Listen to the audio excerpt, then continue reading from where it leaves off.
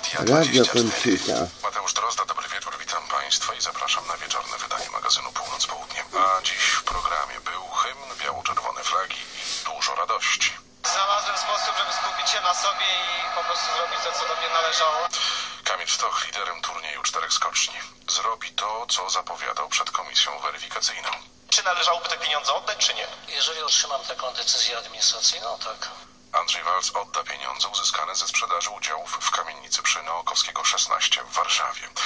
Ilu Polaków praktykuje? Ilu z nich regularnie chodzi do kościoła i przyjmuje komunię? Praktyki co roku oscylują na poziomie około 40%. Do najliczniej praktykujących należą mieszkańcy diecezji tarnowskiej. Instytut Statystyki Kościoła opublikował dane za poprzedni rok. Północ, południe. Program informacyjny Polskiego Radia 24. A zaczynamy od gorących sportowych emocji. Kamil Stoch wygrał trzecie z rzędu zawody turnieju czterech skoczni, konkurs w Innsbrucku. Polak skoczył na odległości 130 metrów w pierwszej serii, 128,5 metra w drugiej. Drugie miejsce zajął Norweg Daniel Andretande, a trzecie Niemiec Andreas Wellinger. Największy rywal Polaka, dotychczasowy lider klasyfikacji Pucharu Świata, Niemiec Richard, Niemiec Richard Freitag nie ustał pierwszego skoku na odległość 130 metrów i wycofał się z finałowej serii skoków. Po zakończonym konkursie Kamil Stoch w rozmowie z TVP Info nie krył zadowolenia. Cieszę się przede wszystkim dzisiaj ze skoku, bo to były trzy naprawdę dobre skoki. Znalazłem sposób, żeby skupić się na sobie i po prostu zrobić to, co do mnie należało. Skupiałem się na sobie, ale bardzo żałuję tego, co się stało z Richardem i szczerze życzę mu wszystkiego dobrego. W drugiej dziesiątce finałowej serii uplasowali się Stefan Hula, Maciej Kot, Piotr Żyła, Jakub Wolny i Damian Kubacki. Kamil Stoch umocnił się na prowadzeniu klasyfikacji turnieju czterech skoczni. Przed ostatnim konkursem Bischof, Bischofshofen jego przewaga nad drugim Andreasem Wellingerem wynosi ponad 60 punktów. Dla Kamila Stocha było to 25. zwycięstwo i 50. podium w historii jego występu w zawodach Pucharu Świata. Polskie Radio 24.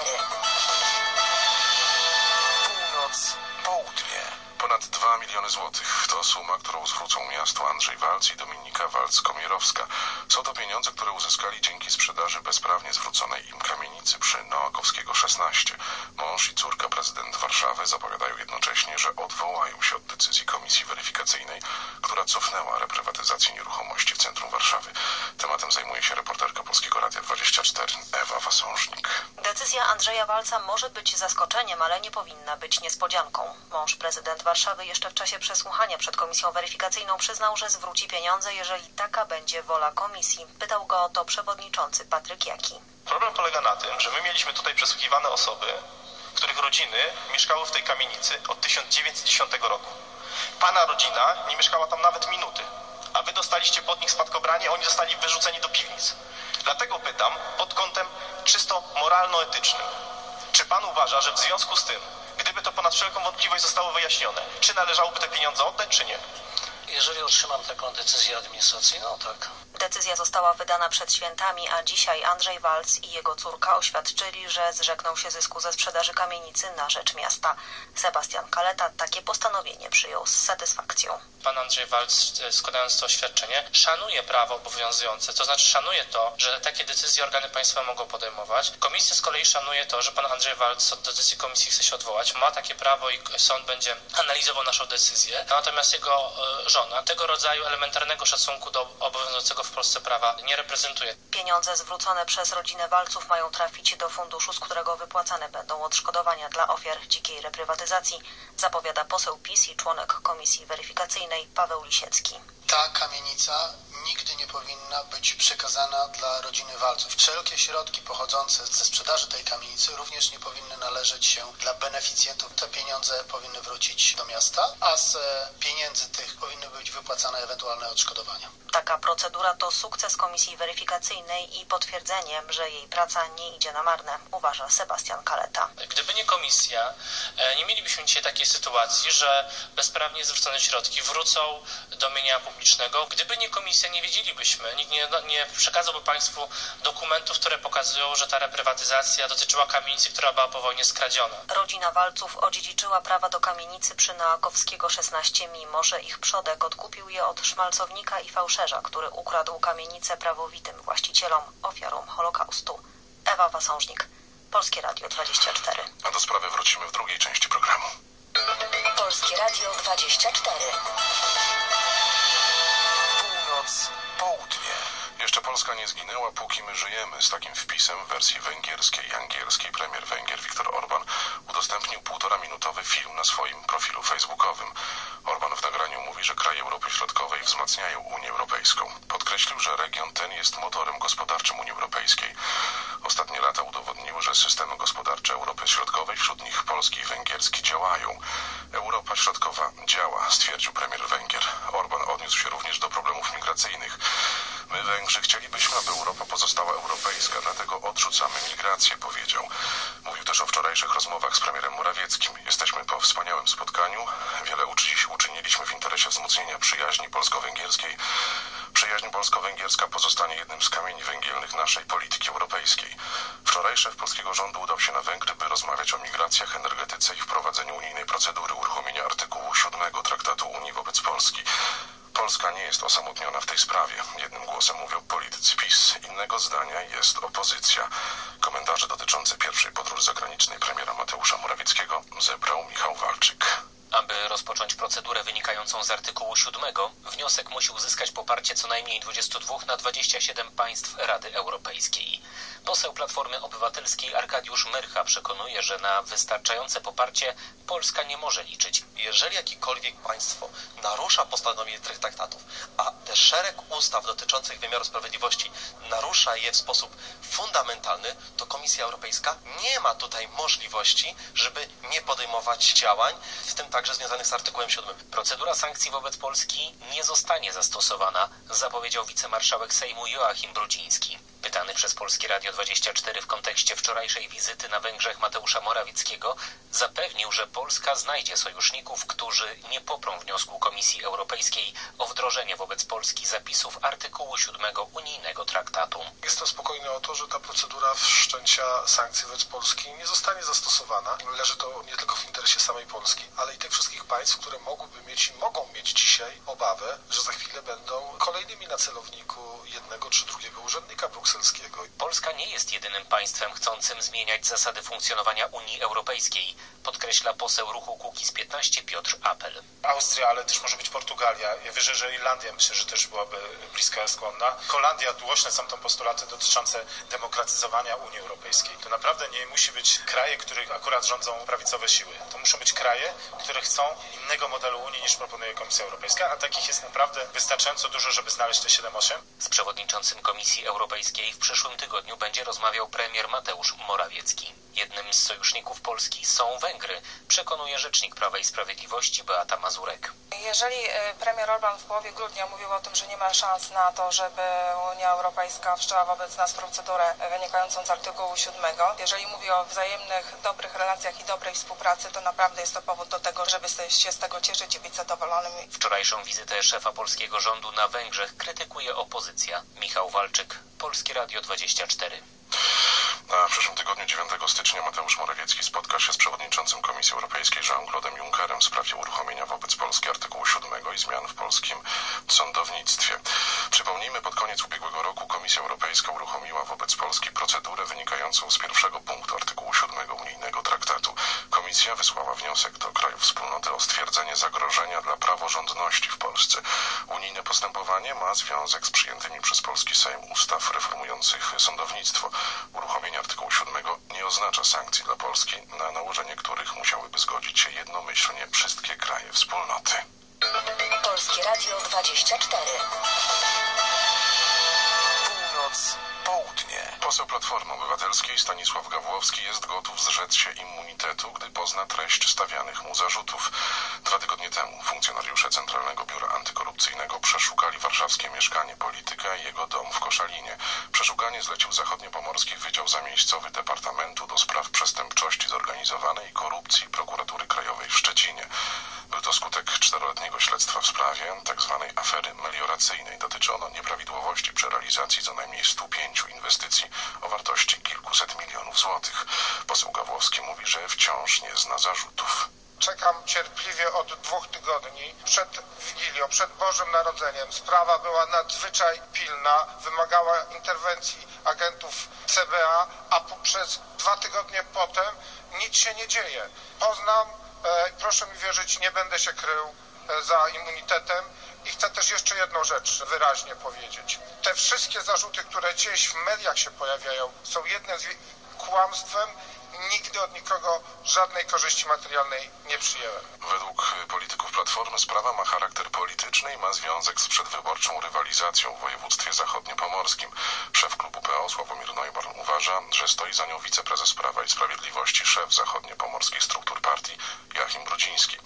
Wicemarszałek Sejmu zapewnia, że nie rozmawiał z ministrem sprawiedliwości na temat posła Gawłowskiego. Zarzuty PO Joachim Brudziński nazywa absurdalnymi. Odpowiadam z pełną świadomością wagi tych słów i odpowiedzialności za te słowa. Ani razu, nigdy nie rozmawiałem z przedstawicielami Centralnego Biura Antykorupcyjnego, Agencji Bezpieczeństwa Wewnętrznego, prokuratury, ani tym bardziej ministrem, z ministrem Ziobro na temat afery melioracyjnej, która ma miejsce i sprawa się w tej sprawie toczy, jak również w sprawie posła Gawłowskiego o zamiłowaniu, rzekomym zamiłowaniu do kolejnego polityka Platformy Obywatelskiej do zegarków czy do drogich alkoholi. Dowiedziałem się z łam gazet i prasy. 21 grudnia ubiegłego roku prokurator generalny wystąpił z wnioskiem do marszałka Sejmu o wyrażenie zgody na pociągnięcie Stanisława Gawłowskiego do odpowiedzialności karnej, także na jego zatrzymanie i zastosowanie wobec niego tymczasowego aresztu.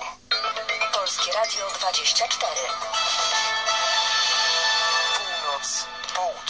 Ministerstwo Zdrowia poinformowało, że od wczoraj spadła liczba niepodpisanych klauzul opt-out. Lekarze podpisując taką klauzulę godzą się na pracę w wymiarze ponad 48 godzin tygodniowo.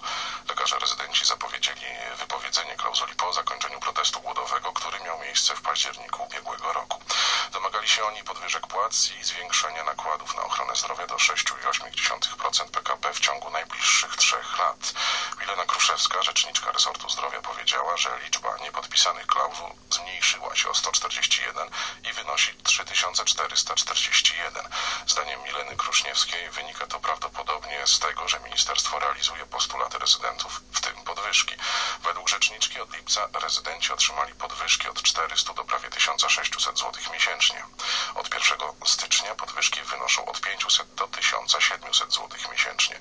Pensje rezydentów mają wzrastać przez kolejne 3 lata. Natomiast 1 stycznia weszła w życie ustawa stopniowo zwiększająca nakłady na opiekę zdrowotną do 6% PKB w roku 2025. Polskie Radio 24. Komendant Miejski Policji we Wrocławiu zostanie odwołany, zapewnia minister spraw wewnętrznych i administracji Mariusz Błaszczak. To reakcja na wydarzenia z minionej nocy ze stolicy Dolnego Śląska. Podinspektor Zbigniew Raczak został zatrzymany przez funkcjonariuszy służby ochrony kolei. Był pijany i częściowo rozebrany, miał też rozbitą głowę. Dymisja komendanta jest oczywista, mówi Mariusz Błaszczak. Niewątpliwie sprzeniewierzył się zasadom etycznym. Ocena jego działań zostanie dokonana przez Biuro Kontroli Komendy Głównej Policji. 气 Wszczęte zostanie postępowanie dyscyplinarne, potem konsekwencje zostaną wyciągnięte, ale na dziś nie ulega dla mnie żadnej wątpliwości, że komendant miejski zostanie odwołany ze swojego stanowiska, złamał zasady etyczne, nie ma pobłażania, nie ma zgody na takie zachowanie. Funkcjonariusze służby ochrony kolei, którzy zatrzymali w nocy komendanta Zbigniewa Raczaka, odwieźli go do jednego z wrocławskich szpitali. Został zwolniony do domu po udzieleniu pomocy. Małżeństwo podejrzane o namalowanie w noc sylwestrową obraźliwych napisów na drzwiach biura posła Łukasza Schreibera i posła do Parlamentu Europejskiego Kosmy Złotowskiego pod dozorem policyjnym. Tak zdecydowała dziś prokuratura rejonowa w Nakle nad Notecią. 34-letniemu mężczyźnie i 35-letniej kobiecie postawiono zarzut dopuszczenia się zniesławienia, czyli naruszenia artykułu 212 paragraf pierwszy, który przewiduje, kto pomawia inną osobę, grupę osób, instytucję, osobę prawną lub jednostkę organizacyjną nie mającą osobowości prawnej o takie postępowanie lub właściwości, które mogą poniżyć ją w opinii publicznej lub narazić na utratę zaufania potrzebnego dla danego stanowiska, zawodu lub rodzaju działalności, podlega grzywnie albo karze ograniczenia wolności. Z informacji nieoficjalnych wynika, że w komendzie przyznali się do namalowania napisów na drzwiach biura. Wszystko zdarzyło się w drodze zabawy w pobliskim klubie, gdzie znaleźli pojemnik z farbą w aerozolu. Mieli też wyjaśnić, że działali spontanicznie i wcześniej nie planowali pomalowania drzwi. Prokurator ocenił, że czyn wyczerpuje znamiona przestępstwa i objął sprawę ściganiem z urzędu. Polskie Radio 24. W magazynie Czas na informacje z zagranicy Tony Blair apeluje o drugie referendum w sprawie Brexitu. Były brytyjski premier jest przekonany, że decyzja o wyjściu z Unii była błędem, a gdy mieszkańcy wysp poznają ostateczne warunki rozstania, zmienią zdanie co do jej opuszczenia. Z Londynu Adam Dąbrowski. Brytyjczycy powinni dostać kolejną szansę, by rozważyć kwestię członkostwa, przekonuje były premier.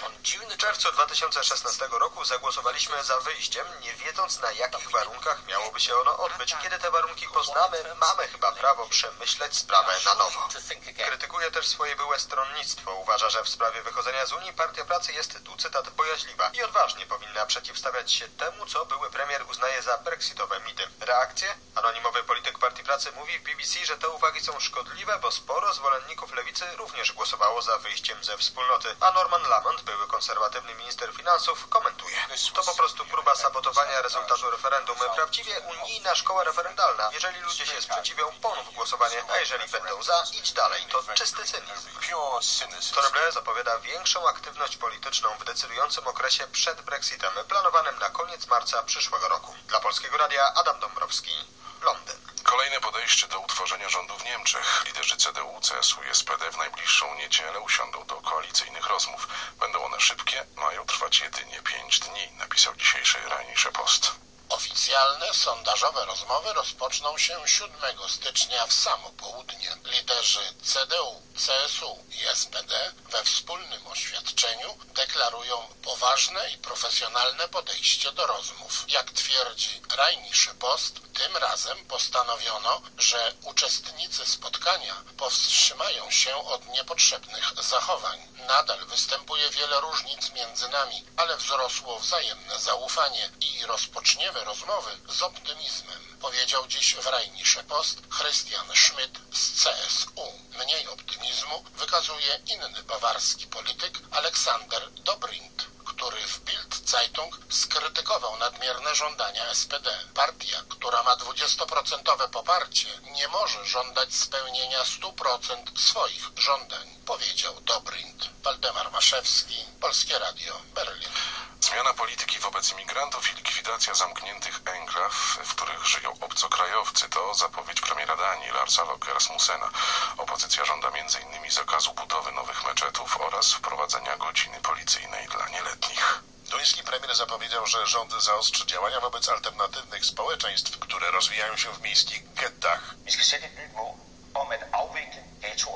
Wyznaczymy nowe cele tak, by całkowicie zlikwidować getta. W niektórych miejscach rozbijemy beton i wyburzymy budynki. Dla ich mieszkańców stworzymy nowe mieszkania w innych miejscach, powiedział w noworocznym orędziu Lars Lokke Rasmussen. Zdaniem premiera w dzielnicach, w których żyją imigranci, obowiązują inne niż duńskie wartości. W przyszłym tygodniu, kiedy rząd przedstawi projekt zmian prawa o cudzoziemcach, politycy Duńskiej Partii Ludowej zapowiedzieli własne poprawki do przyszłej nowelizacji ustawy. Nacjonaliści chcą, by w dzielnicach zamieszkałych w większości przez imigrantów od godziny 20 została wprowadzona godzina policyjna dla nieletnich oraz zakaz budowy nowych meczetów. Żądają również, by zabronić obchodzenia muzułmańskich świąt w instytucjach i urzędach. Chcą także, by osoby z tymczasowym azylem mogły być deportowane. W Danii za getta uważa się 22 osiedla mieszkaniowe w kilku dużych miastach. Są to obszary zamieszkane przez więcej niż tysiąc mieszkańców, którzy pochodzą spoza zachodniego kręgu kulturowego. Przemysław Gołyński, Polskie Radio.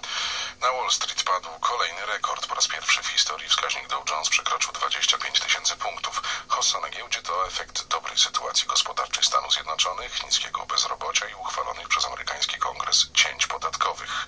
Z Waszyngtonu Marek Wałkuski. Już na samym początku dzisiejszej sesji Dow Jones wzrósł o ponad 100 punktów, przekraczając barierę 25 tysięcy, najwyższą w ponad 130-letniej historii tego indeksu. Pozostałe wskaźniki również pobiły rekordy. Takie wyniki oznaczają, że w ciągu roku ceny akcji na Wall Street wzrosły o ponad 25%. Analitycy spodziewają się dalszych wzrostów. Niektórzy przewidują, że wskaźnik Dow Jones może osiągnąć nawet 30 tysięcy punktów. Hossa na amerykańskiej giełdzie to skutek przyspieszenia wzrostu gospodarczego na świecie i w Ameryce. Niedawno Zarząd Rezerwy Federalnej podniósł prognozę gospodarczą dla Stanów Zjednoczonych z 2,1 do 2,5%. Raport amerykańskiego rządu za grudzień mówi o 250 tysiącach nowych miejsc pracy. Według ekspertów jednym z głównych czynników, które wywołały najnowszą falę optymizmu na Wall Street jest przeforsowana przez republikanów i prezydenta Trumpa reforma podatkowa, która zmniejszyła stawkę podatku dochodowego dla korporacji z 35 do 21%. Z Waszyngtonu Marek Wałkuski, Polskie Radio. Polskie Radio 24. Wracamy do kraju. 37% katolików chodzi regularnie na niedzielną mszę świętą. Komunię przyjmuje co trzeci z nich. To dane za rok 2016 opublikowane przez Instytut Statystyki Kościoła Katolickiego. Szczegóły zna Grzegorz Maciak.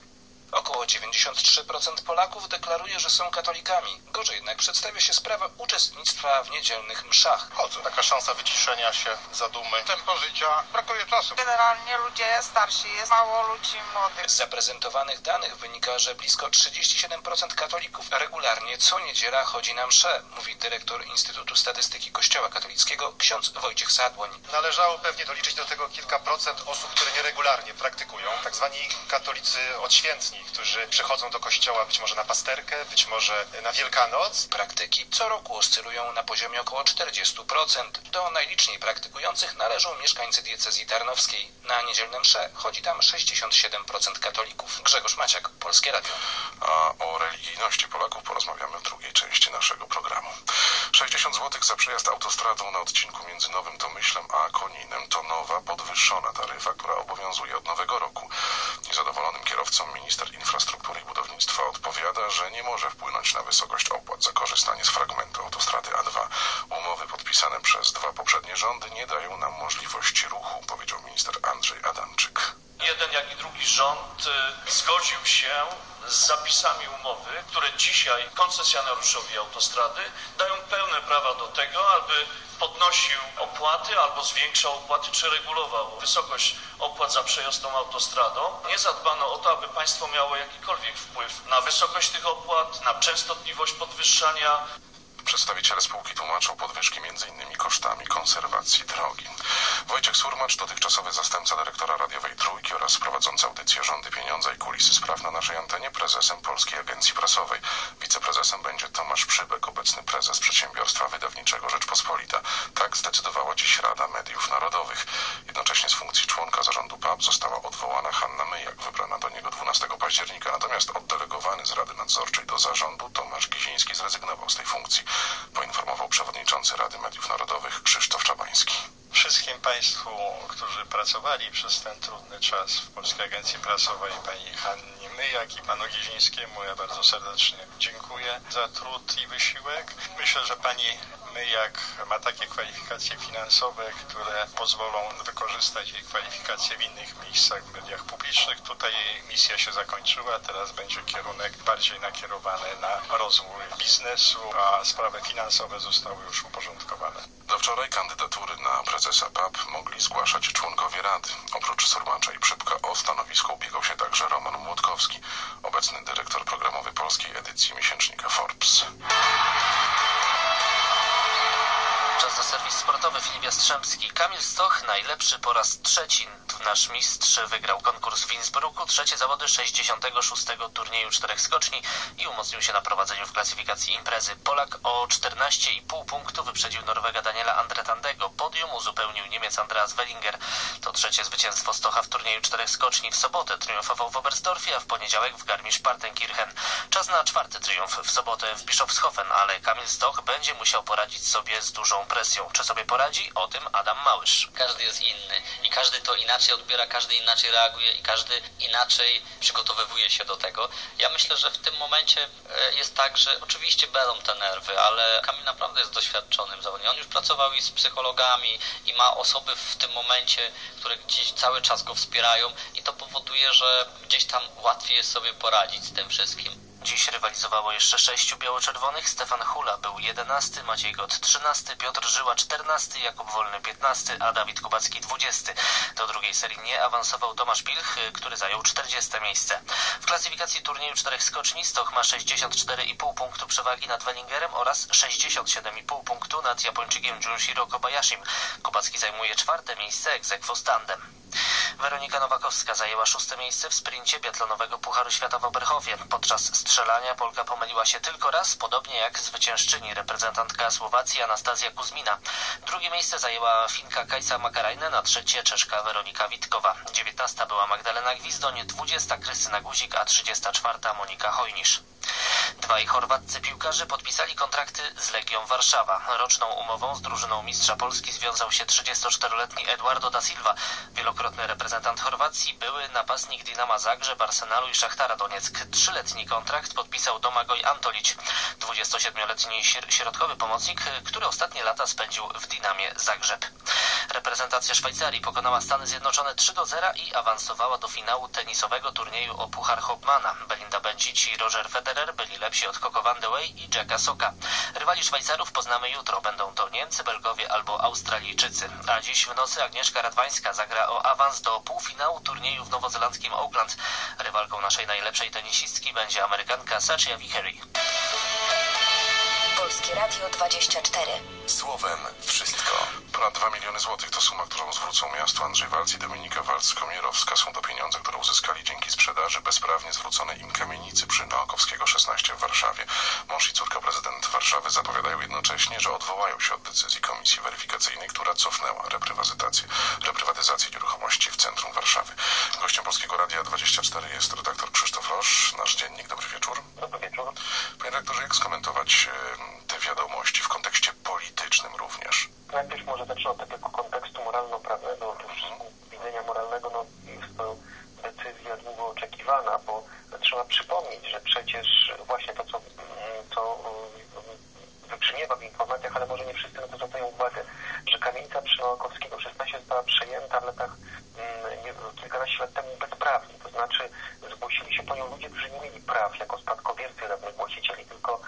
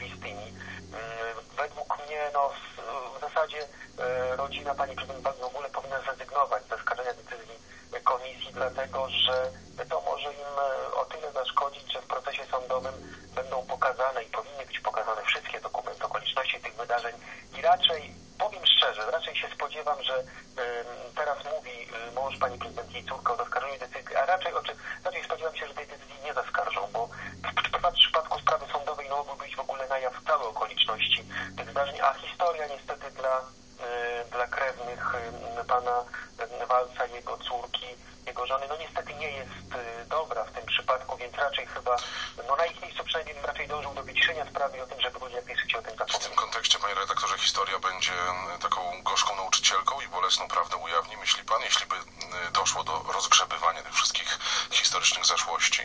No właśnie, jeśli by doszło do procesu, I na co to by się przełożyło realnie? Na... No to, by się, to by się realnie przełożyło, myślę, że kompromitacja jeszcze większa pani prezydent i rodziny, bo no wiadomo, że taka, taki proces, on nie mógłby być procesem tajnym, siłą rzeczy byłby z racji zainteresowania opinii publicznej, musiałby być jawny, zresztą dotyczy sprawy przecież jawnej, bo i działań miasta w tej sprawie, więc tutaj sąd, sąd badał w ogóle wszystkie działania miasta, nawet dogłębniej niż komisja weryfikacyjna. Być może mielibyśmy też więcej informacji y, tych, których komisja nie ujawniała poza przesłuchaniami świadków, bo przecież część, część postępowania była w trybie niejawnym, więc tutaj, tutaj na pewno ta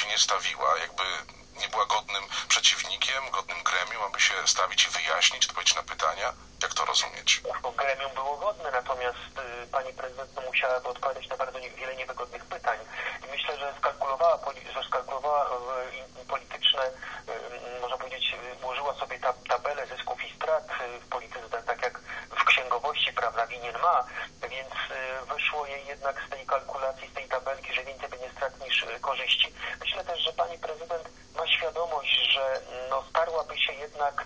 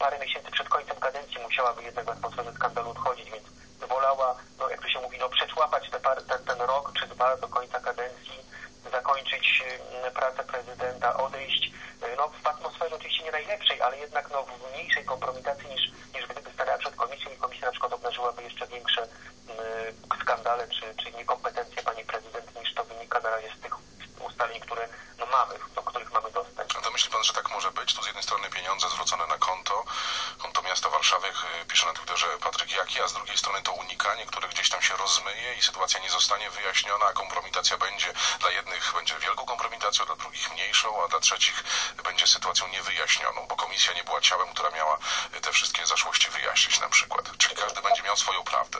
Myślę, że tak. Myślę, że to, co, to, co pan mówi, niestety tak będzie, że tutaj bez względu na to nawet, co by się, co by komisja pokazała, to jednak zawsze będzie ta duża grupa mm, partii pani prezydent Warszawy, czy, czy generalnie jakby do tego środowiska, dla których no, żadna, powiedzmy mówiąc brutalnie, prawda pokazana przez komisję nie będzie prawdą, więc będzie zawsze podważanie, że jest to ciało polityczne, że, że, że tutaj przecież yy, zasiadają politycy, że komisja działa przeciw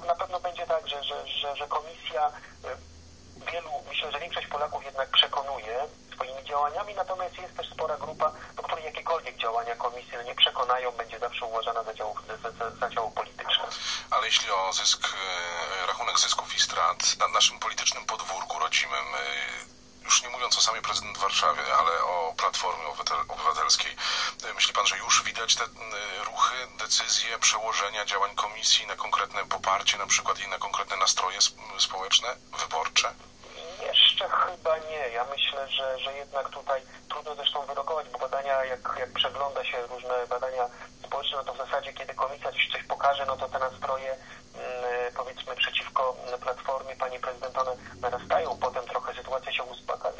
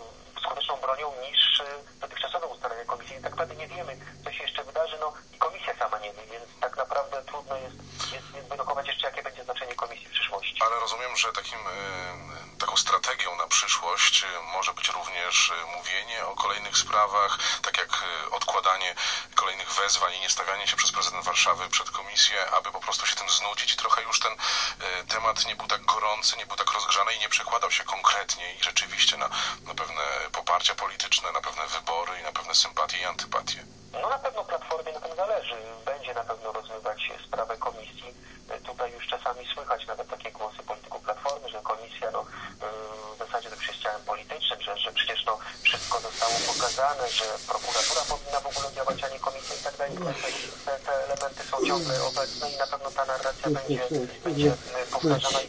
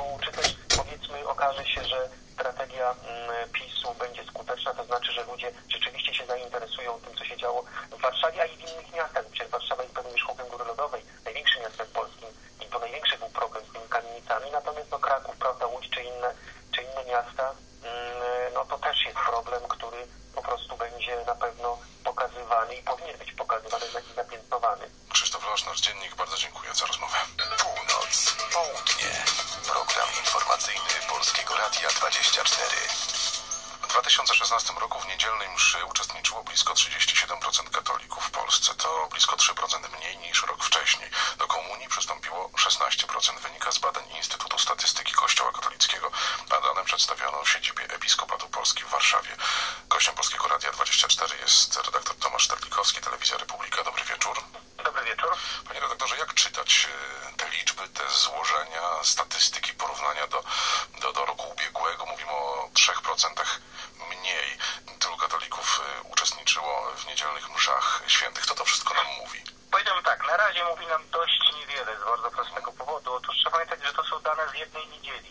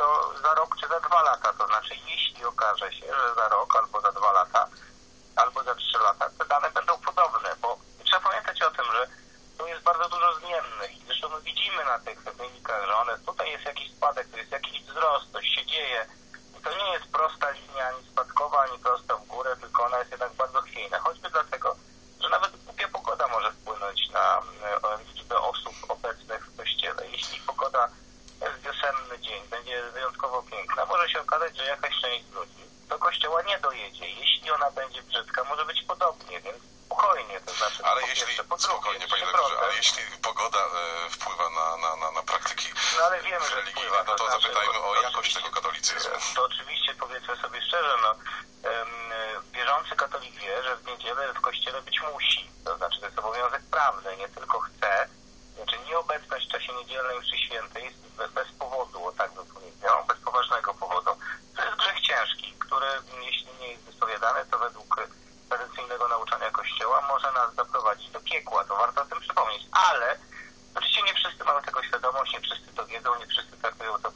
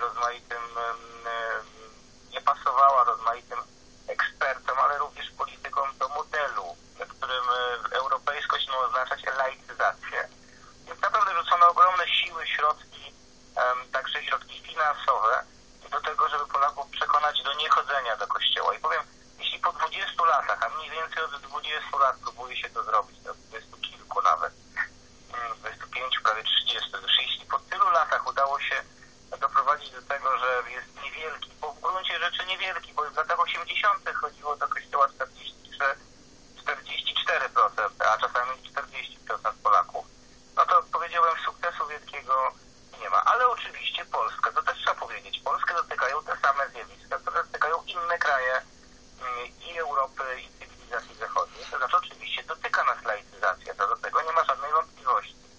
Widzimy poważny spadek liczby mm, praktykujących osób wśród młodych ludzi. Ten wskaźnik mnie bardziej niepokoił, ponieważ on jest potwierdzany przez wiele lat. To znaczy to nie jest nowe zjawisko, tylko od wielu lat widzimy, że młodzież praktykuje rzadziej. Ksiądz... No i wreszcie jest jeszcze jedna kwestia, na którą warto zwrócić uwagę. Otóż no, wszystko wskazuje na to, e, i to nie są tylko polskie dane, znaczy warto mieć tego świadomość, że odtrąbiony przez watykańskie media e, efekt Franciszka nie istnieje. To znaczy m, słyszeliśmy, że ten nowy model e, duszpasterski ma przynosić nowych wiernych. Wiemy, że nie tylko w Polsce nie przynosi. Z- Ksiądz e, Wojciech Sadłyn, dyrektor Instytutu Statystyki Kościoła Katolickiego, mówi tak. e, Polacy tracą wrażliwość duchową, chociaż nasz katolicyzm jest bardzo bogaty. Jak z tą wrażliwością duchową jest? No powiedziałbym, to niewątpliwie tracą wrażliwość duchową z bardzo prostego i oczywistego powodu. Otóż e, pochłania nas codzienność, to znaczy to też jest zjawisko dość dobrze e, przebadane, e, to znaczy i dość widoczne w różnych krajach. To znaczy społeczeństwo staje bogatsze, społeczeństwo bardziej skupia się na konsumpcji, mniej skupia się na mm, życiu religijnym. Są oczywiście wyjątki. Wyjątkiem są Stany Zjednoczone, w których nie ma tej korelacji między tymi dwoma zjawiskami. I dość długo wyjątkiem była Bawaria. Nie, Ale że Bawaria wyjątkiem przestała być. A natomiast dość dobrym potwierdzeniem tego zjawiska jest Irlandia, która także była krajem bardzo katolickim w momencie, kiedy zaczęły iść wyraźnie w górę em, wskaźniki e, ekonomiczne, to ludzie uznali, że konsumpcja zastępuje im e, duchowość. To jest też zjawisko dość często spotykane i nie bardzo e, zaskakujące. Jesteśmy tak zajęci konsumowaniem, że nie mamy czasu na wartości wyższe i dotyczy to nie tylko religii. Wystarczy sprawdzić, ile Polacy czytają książek, jak często chodzą do teatru, czyli jak często próbują e, korzystać z tych wyższych wartości dostępnych, także konsumpcyjnych, ale jednak wyższych. Tomasz Telewizja Republika. Bardzo dziękuję za komentarz. Polskim Radio 24. Północ, południe. Program informacyjny Polskiego Radia 24. Kto co napisał na Facebooku, albo kto się pokłócił na Twitterze, no to wszystkim Marcin Królik już teraz dobry wieczór. Dobry wieczór, witam Państwa bardzo serdecznie. Andrzej Walc odda co nie jego. Właśnie w takich chwilach widać, że komisja weryfikacyjna miała sens, pisze Marcin Makowski w tekście na Wirtualnej Polsce. Oczywiście cała sprawa nie jest tak się wydawać, a sam Walc zapowiedział, że pieniądze oddaje, Ciekawe, nie? Że on ich odda zwrotu co nie mniej, nie. jak dowodzi dalej Makowski. Bez względu na możliwe zwroty akcji w sprawie kamienicy Krzyżanakowskiego 16 jedno nie ulega wątpliwości. To kolejne wizerunkowe zwycięstwo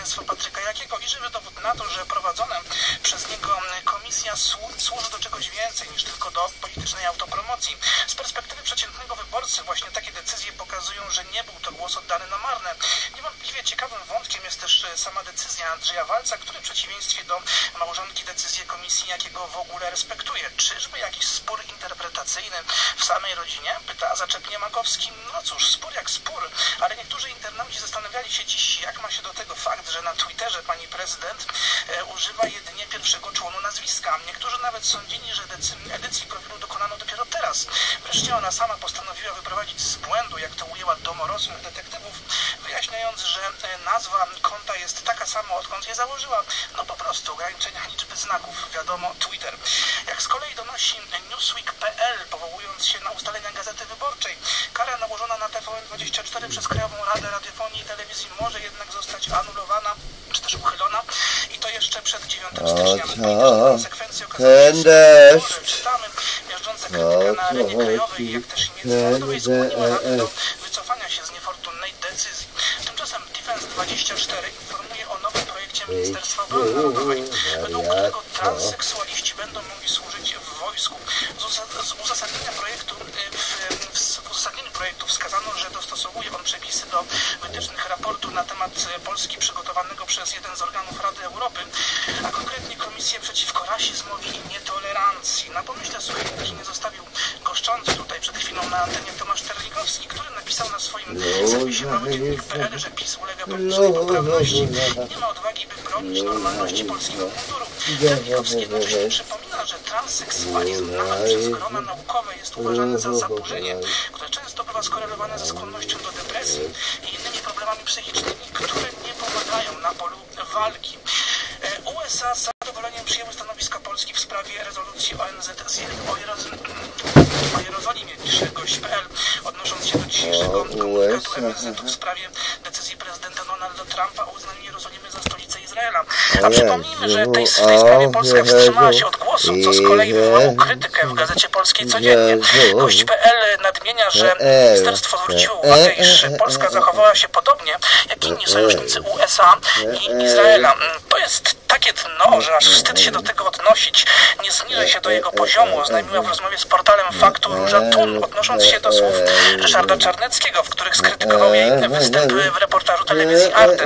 Jednocześnie upierała się, że jej wszelkie działania to wyraz troski o kraj, w którym na szczęście nie wszyscy są tacy jak PiS.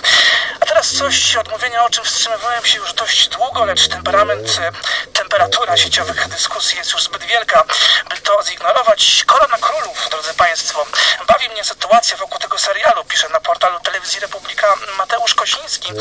E, Najnowszy hit TVP pokazuje, że nawet tak banalna opera mydlana może stać się przedmiotem śmiertelnych sporów orędowników i przeciwników e, dobrej zmiany. Potwierdza to m.in. tweet Jacka Karnowskiego, w którym dowodzi, iż hejt na koronę pokazuje, że pokłady pedagogiki wstydu są u nas nieprzebrane, także na prawicy.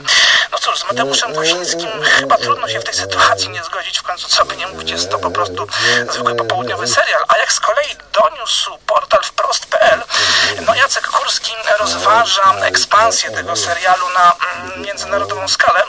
No jak na razie e, w internecie królują memy na ten temat, no i rzeczywiście bardzo ożywione dyskusje. Y, Jeszcze wracając do kwestii, e, do kwestii re- reprywatyzacji i decyzji odnośnie Andrzeja Walca, e, Jan Śpiewak zwrócił uwagę, że PiS w kwestii reprywatyzacji również nie może powiedzieć, że to nie jest ich afera. No i aby to udowodnić, pokazał link z portalu TVN24, w którym przypominane są m.in. sytuacje z czasu, gdy Lech Kaczyński został już wybrany na prezydenta z Polski. No i w tym czasie, no i w tym czasie właśnie działy się pewne niedobre rzeczy. Dziękuję bardzo. Do usłyszenia jutro. Mówił Marcin Królika, to był magazyn Północ-Południe. Powtórka programu.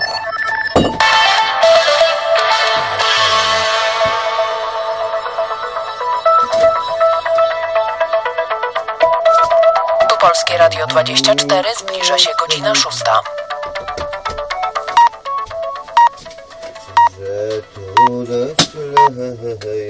Czas na informacje dnia. Mąż i córka Hanny Gronkiewicz-Walc zwrócą miastu ponad 2 miliony złotych. To pieniądze ze sprzedaży udziałów w kamienicy przy Noakowskiego 16. O nakładach na służbę zdrowia i klauzulach opt-out dziś rozmowy ministra zdrowia z rezydentami. Kto nie widział, niech żałuje. Kamil Stoch triumfował trzeci raz z rzędu w Innsbrucku. Zostawił rywali daleko w tyle. Aleksandra Kozera zapraszam. Andrzej i Dominika Walcowie, czyli mąż i córka prezydent stolicy, zadeklarowali zwrot miastu Warszawie ponad 2 milionów złotych. Chodzi o środki, które pozyskali ze sprzedaży swoich udziałów w kamienicy przy Noakowskiego 16. To odpowiedź na decyzję komisji weryfikacyjnej, która uznała, że do przekazania kamienicy w prywatne ręce doszło z rażącym naruszeniem prawa. Decyzję o zwrocie pieniędzy komentował członek komisji weryfikacyjnej Sebastian Kaleta. Pan Andrzej Walc, e, składając to oświadczenie, można powiedzieć, że szanuje prawo obowiązujące. To znaczy szanuje to, że e, takie decyzje organy państwa mogą podejmować. Komisja z kolei szanuje to, że pan Andrzej Walc od decyzji komisji chce się odwołać. Ma takie prawo i sąd będzie analizował naszą decyzję. Mimo deklaracji o zwrocie pieniędzy, jaką złożyli Andrzej i Dominika Walcowie, w, pisem, w pismach złożonych w Ministerstwie Sprawiedliwości zapowiedzieli odwołanie do sądu od grudniowej decyzji Komisji Weryfikacyjnej w sprawie Noakowskiego 16. Dziś po południu zaplanowano rozmowy ministra zdrowia z rezydentami. Młodzi lekarze wypowiadają klauzulę opt-out, co oznacza, że nie godzą się na pracę powyżej 48 godzin tygodniowo. Akcja protestacyjna została zapowiedziana po październikowej głodówce. Rezydenci domagali się podwyżek płac i wzrostu nakładów na ochronę zdrowia. Podwyżki są realizowane od lipca, a ustawa stopniowo zwiększająca wydatki na zdrowie do 6% PKB weszła w życie 1 stycznia. Młodzi lekarze chcą jednak szybszego wzrostu nakładów. Przedwczoraj na Sejmowej Komisji minister zdrowia Konstanty Radziwiłł zapowiedział spotkanie z młodymi lekarzami. Pod, można powiedzieć, taką egidą Rzecznika Praw Pacjenta i przy jego udziale te rozmowy doprowadzą do porozumienia już niedługo. Bartłomiej Chmielowiec, Rzecznik Praw Pacjenta, podkreśla, że chodzi tu o dobro chorych. Może udałoby się jednak mimo wszystko znaleźć takie rozwiązanie, które by spowodowało, że lekarze rezydenci no, odstąpiliby od tego protestu. Marcin Sobotka z Porozumienia Rezydentów Ogólnopolskiego Związku Zawodowego Lekarzy mówi, że zgodnie z ustawą 6% PKB na zdrowie osiągniemy za 8 lat, a odczuwalny wzrost nakładów za 6 lat. Nie możemy czekać 6 lat. Chcemy, żeby ten system funkcjonował normalnie. Jeżeli Ministerstwo Zdrowia wyjdzie z taką propozycją, no to my na tą propozycję przystajemy, bo my chcemy też to skończyć, bo jesteśmy zmęczeni już tym wszystkim. Resort Zdrowia poinformował wczoraj, że liczba wypowiedzianych klauzul opt-out nieznacznie zmalała do przeszło 3400. Barbara Góra, Polskie Radio. Czas na zagranicę. Na nadzwyczajnym posiedzeniu zbierze się dziś Rada Bezpieczeństwa ONZ.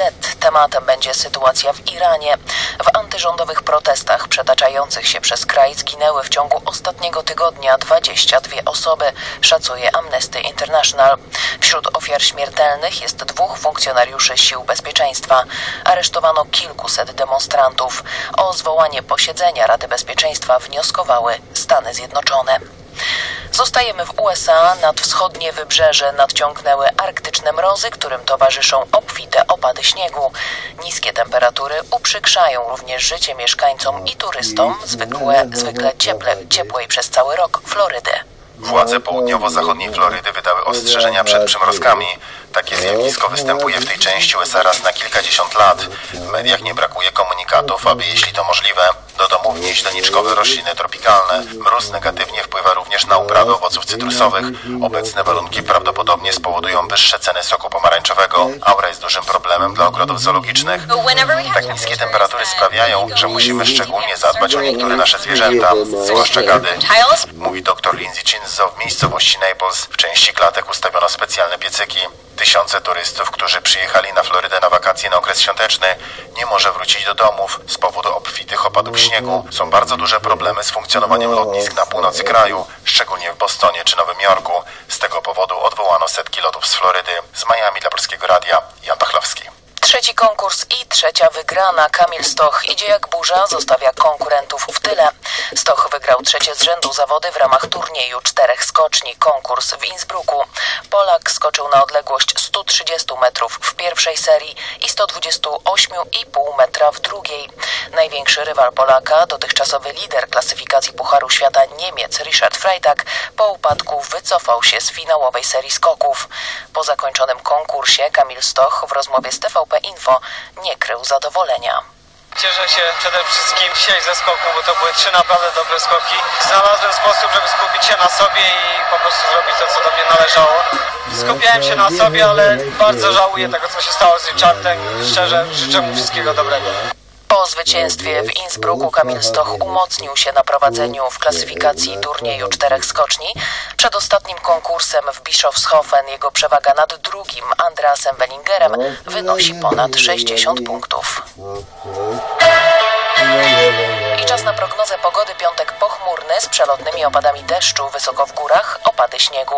Temperatura maksymalna od 4 stopni na Mazurach i Suwalszczyźnie, 6-7 pokażą słupki rtęci w centrum, do 9 stopni na Dolnym Śląsku. Wiatr dość silny, przeważnie w porywach do 60 km na godzinę, nad morzem do 70, a wysoko w górach nawet do 100 km na godzinę.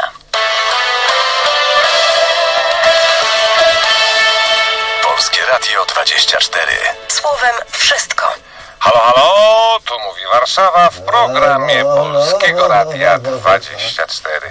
Przed mikrofonem Grzegorz Jankowski. Witam Państwa ciepło i serdecznie i spędzę dzisiaj z Wami poranek do godziny 9. A teraz na zegarach godzina 6.06 i 35 sekund. Proszę Państwa, jak słyszeliście w serwisie informacyjnym w Stanach Zjednoczonych, a specjalnie na Florydzie, wielki dramat. Ceny soku pomarańczowego zdrożeją niebawem z powodu silnych mrozów, które nawiedziły ten przepiękny, słoneczny stan w USA. A jak tam w ogóle żyć? Jak nie jakiś huragan, to mrozy. Ach, współczujemy mieszkańcom Florydy. Kochani, kochani, mamy piąty dzień stycznia, a to oznacza, że to jest piąty dzień roku. Logiczne, prawda? Słońce w znaku koziorożca wzeszło o 7, zeszło o 7.45. Ja wam dam, wzejdzie o 7.45, a zajdzie o 15.38. Dzień potrwa więc 7 godzin i 53 minuty. Strasznie krótko. Kto dzisiaj obchodzi imieniny? Amelia, Edward, Marcelina, Piotr i Szymon. Kochani e, solenizanci, tak, solenizanci, kochani solenizanci, wszystkiego Wam najlepszego, tak samo wszystkiego najlepszego wszystkim tym, którzy dzisiaj obchodzą urodziny. Drodzy moi, czas jeszcze na Twitter. Kon Krystian Bugajski. Witam panie Grzegorzu. W Rodomie dwóch wiernych fanów wyczekuje pana audycji. Pozdrowienia od pracowników pras. I tu jest kropka pracowników pras, cokolwiek to oznacza panie Krystianie. I w ogóle wierni fani, wszystkiego wam najlepszego. Dziękuję, że jesteście ze mną i z Polskim Radiem 24. Również profesor Iwaj Kejson. Ivy Kaysen, nie wiem jak to się czyta. E, no, zebrane radio włączone, nastawione na polskie radio 24 za 14 minut. Halo, halo, to było pisane za 15 szósta. Pozdrawiam panie profesorze, a może pani profesor, nie chyba panie profesorze. I dziękuję, że jest pan ze mną i również pani Sandra z Austrii. Już, ja już nasłuchuję w drodze do pracy. Halo, halo, nie śpimy, zwiedzamy. Do usłyszenia o 6 rano. Do usłyszenia pani Sandro i wszyscy kochani słuchacze poranków Polskiego Radia 24. Witam was ciepło i serdecznie. To już ostatni dzień pracy w tym tygodniu. Wieczorem albo po południu kończymy i idziemy czytać wieczorowe książki. Czas na kalendarium. Kalendarium historyczne. 5 stycznia 1932 roku urodził się Umberto Eco, włoski filozof i pisarz rozsławiony przez swoją twórczość beletrystyczną. Był profesorem na Uniwersytecie we Florencji oraz Uniwersytecie Bolońskim. Zajmował się semiotyką, semiologią i procesami komunikacji. Jako powieściopisarz zadebiutował bestsellerem Imię Róży. Potem wydał jeszcze pięć powieści. Wahadło Foucaulta, Wyspa Dnia Poprzedniego, Baudolino, Tajemniczy Płomień Królowej Loany oraz Cmentarz w Pradze. Eko został uhonorowany kilkudziesięcioma tytułami doktora honoris causa, między innymi w 1996 roku w Warszawskiej Akademii Sztuk Pięknych. W jednym z wywiadów Umberto Eco opowiadał o tym, jak powstają jego książki. Fragment wywiadu pochodzi z portalu YouTube. Zwykle napisanie powieści zajmuje mi 6 lat. Wyjątkiem było wahadło Foucaulta, które powstawało 8 lat. Kiedy kończę pisać książkę, pierwszą osobą, która ją czyta, jest moja żona. Po przeczytaniu zwykle mówi, teraz rozumiem, dlaczego byłeś taki nieznośny przez ostatnie dwa lata. A ja po prostu zostałem zanieczyszczony przez mojego bohatera. Umberto Eco zajmował się badaniem mechanizmów kultury masowej. Semiotyka eko stała się modnym kierunkiem filozofii, do czego w szczególności przyczyniły się jego dzieła Teoria semiotyki i Rola czytelnika, wydane w latach 70. 5 stycznia 1972 roku ówczesny prezydent Stanów Zjednoczonych Richard Nixon podpisał program budowy floty promów kosmicznych. Miały one być tańszym niż rakiety środkiem transportu, który ponad